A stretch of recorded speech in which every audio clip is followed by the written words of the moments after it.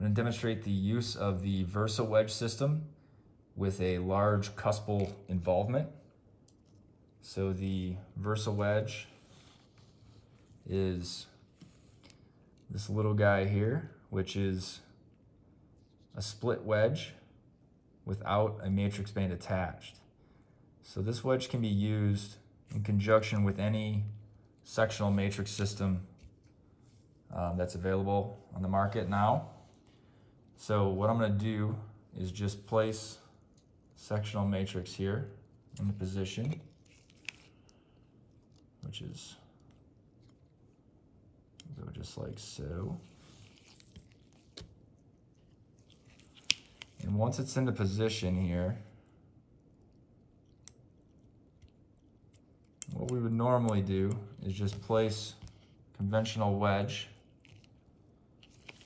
and put a ring on top. And what that would result in is oftentimes a bit of a crushed wall here on the on the powder or the, the involved side.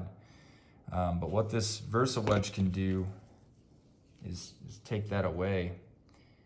So you're gonna place the VursaWedge in the direction of the involvement. So you want these split wings to come toward the area of the missing tooth.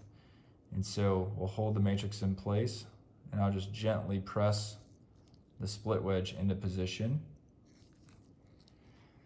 And as you can see, the, the wings of the split wedge open up as they come through to the gingival side, or I'm sorry, to the palatal side.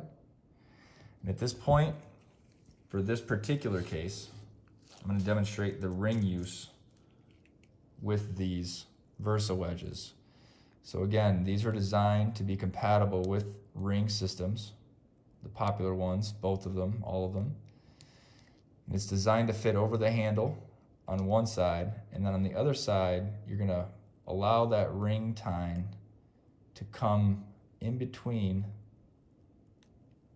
the wings of the split wedge.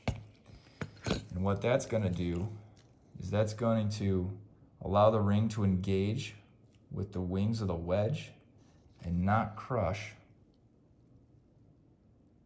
your wall.